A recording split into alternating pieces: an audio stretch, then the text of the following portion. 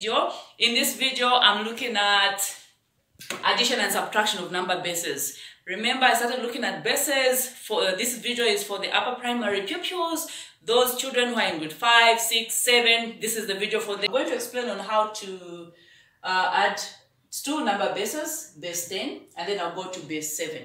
Base 10 is the base that we're familiar with. We usually, they have, you have to look at the place values, okay? So, these are the ones, the ones at the end, and the next one are the tens. If we had numbers there, we would have had hundreds, we would have had thousands, uh, ten thousands, and then the basis continues just like that in base 10. Okay, so now we only have two digits there, which is 76, and the other one is 54. All right, so these are the numbers that we are adding. So we start adding from there. So what is 6 plus 4? 6 plus 4 gives us 10 we do not write the 10 there in base 10, okay? So you write your 10 there.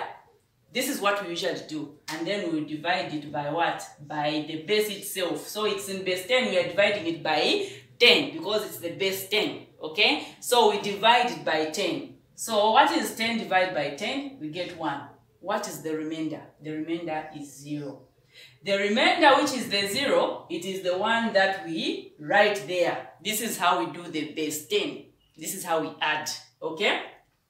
We move on to the tens, okay? So now, after I write this 0, before moving on to, to, the, to the tens, after writing this 0, the, the answer that you got after dividing the quotient or the quotient, which is 1, you carry it, you put it there okay because it is 110 that's why you're taking it to the tens. This is what we do in base 10 all right? So now here what you do next is you add the tens also. So what is 7 plus 5 okay? So 7 plus 5 that is it's going to give us 12 so that is the 12 Remem remember you carry the 1 okay? So this one you add to 12 which is going to give us 13 so our answer is 13.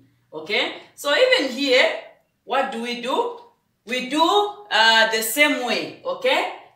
We have we say 13 divided by 10.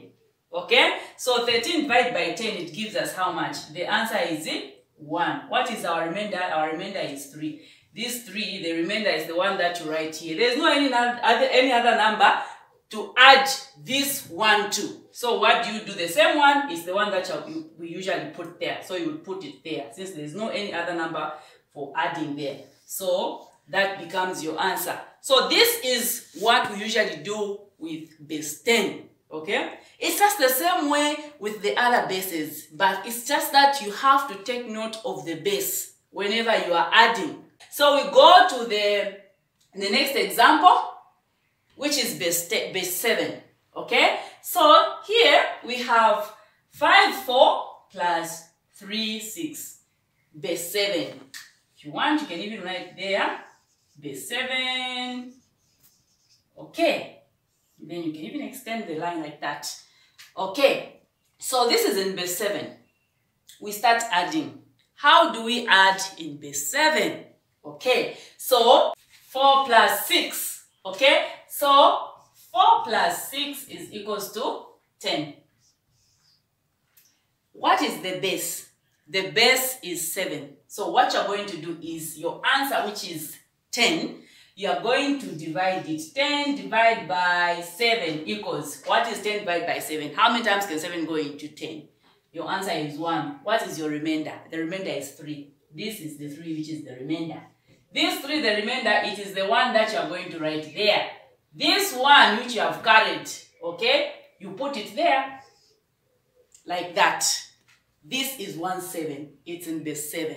Okay? So you move on to the next question. What is 5 plus 3? So 5 plus 3 is going to give you 8. 8. Alright, that's your answer. Remember you carried the 1, okay, which is 1 7. You are going to add it to that 8 plus 1, which is going to give you 9.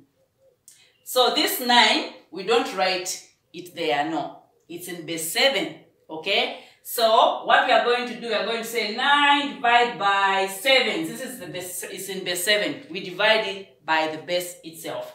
So which is going to give us 1. What is our remainder? Our remainder is 2. Our remainder which is 2 is the one we write there. Do we have any more numbers to add there? No. So this one, we write it down there and it ends there. You write your base 7 like that. Okay? So this is how you can add any other base. You have to divide by the base itself. If it's in base 4, you have to divide base 4. Okay? By the base 4. If it's in base 6, you have to divide by the base itself. That is how you're supposed to, to, to, to, to add the number bases. Okay? So if you remember in my other video, I explained that a number base does not use a number higher than the base itself. So here, that's why we have 6. This is, in base 7. 6 is the highest number for base 7. You will not find the number 7 itself. Okay? You will not find 8, you will not find 9. To start with subtraction, um, whereby you're subtracting base 10. Okay? Because this is something that we are familiar with. Okay? So, I'm going to explain how we usually subtract, okay? Because the numbers that we use, they're in base 10. So that's why I'm starting with it, and then we go to the other base. So the other base that I'm going to give an example is in base 5, all right? So here is the number.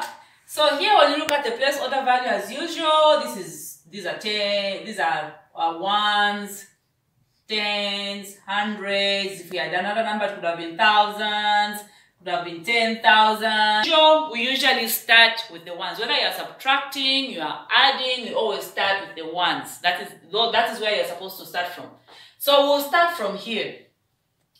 We subtract. What is 6 minus 3? Okay, so 6 minus 3, it gives us 3. We go to the next number.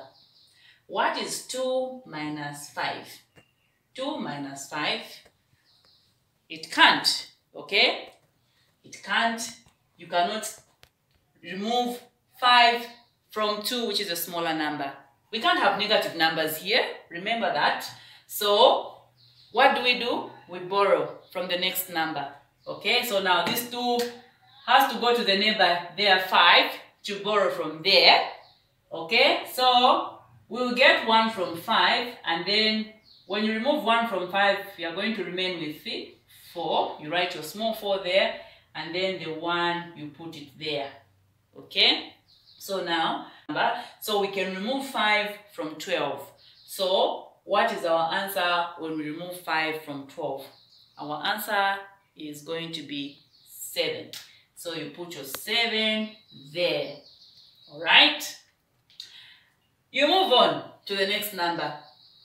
You remained with 4 there. Remember, you borrowed 1, you took it to the next number. Okay? So, 4, take away 4. Your answer is 0. This is how we usually subtract in base 10. Now, how do we do it in base 5? It's just the same thing. The only thing you have to take note is the base itself. Alright? So here, this is base 5. You can even write 5 there. You can write 5 there. Okay, show us it's in base 5. Okay, so now, here we have 1 minus 2. Okay? 1 minus 2. Alright? So, these numbers, the same way we subtract, here, it's all the only difference is just taking note of the base. When you sub, when you borrow from the next number, it means you've borrowed a base. All right. So one, we cannot remove two from one. One is a smaller number. We are going to borrow from what? Eh? We'll borrow from these two. When we borrow, we are going to remain with one. And then that one we put here, the one that we have borrowed here, it's not the one, the 10 itself, no. That one, it means it's one five, okay? So it is actually a five that we have borrowed from here, this one, okay? So this five, you are going to add plus one, which is the number there which you want to subtract from. So you say 5 plus 1, the one which is already there, which gives you how much? 6. Okay?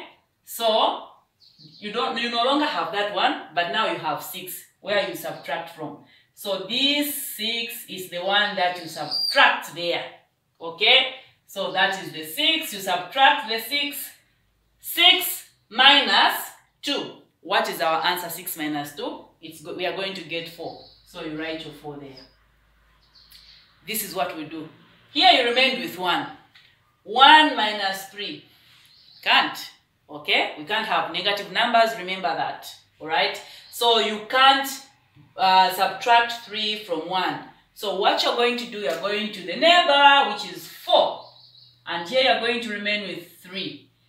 The one that you've borrowed, here, it is the one uh, fifth.